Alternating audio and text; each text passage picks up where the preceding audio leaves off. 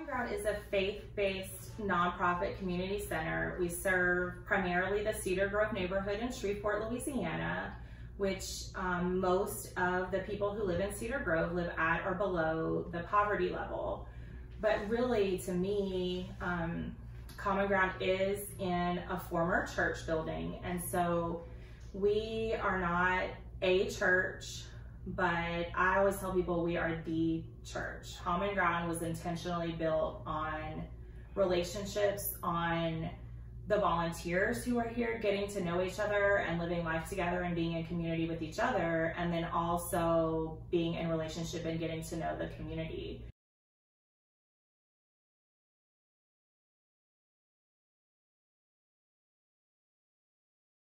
There are some practical ways that my life has been transformed. There are things that um, I knew, I guess, theoretically about how different my life is from the lives that other people lead. Um, and, and also the way that I've just been accepted here and then I started showing up and giving of my time and starting to get to know people and the community here, the volunteers and the community members have accepted me for who I am.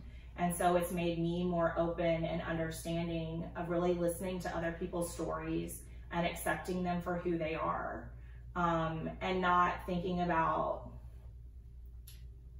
um, why people are the way they are, why they haven't done all these things, why, um, you know, why don't you have a job or why haven't you been able to make your life better or whatever it is.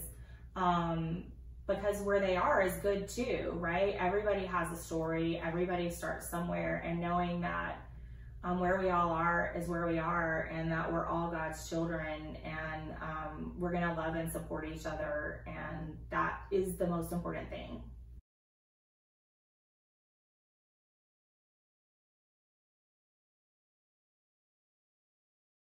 Using the language from today, we've been talking about um, relationships and we've been talking about being transformational. And sometimes in this work, we talk about being transactional.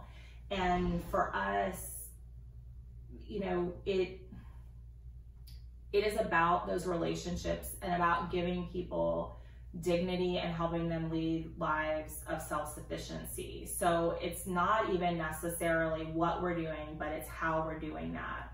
So for instance, our food pantry, instead of giving people a box of food, they're able to come and shop for their own food.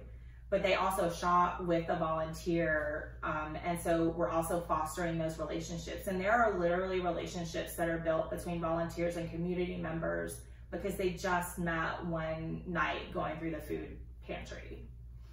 Um, and then when you we talk about transformation, one of our goals too, you know, we're trying to model a way of living life together in community based on um, scripture, based on the understanding, um, you know, that we're supposed to love God and love neighbor.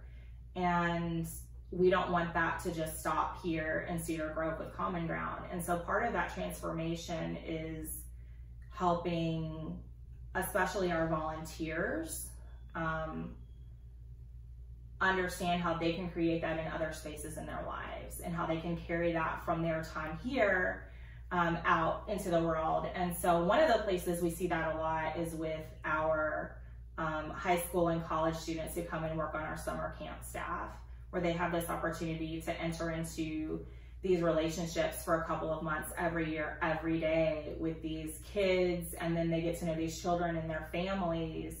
And they, they're, once again, we're talking about the crossing those boundaries or your world getting larger. And then they understand that the world is a lot bigger than they thought it was. And then they carry this understanding and this love for this community that they never knew before out into the world wherever they're going back to.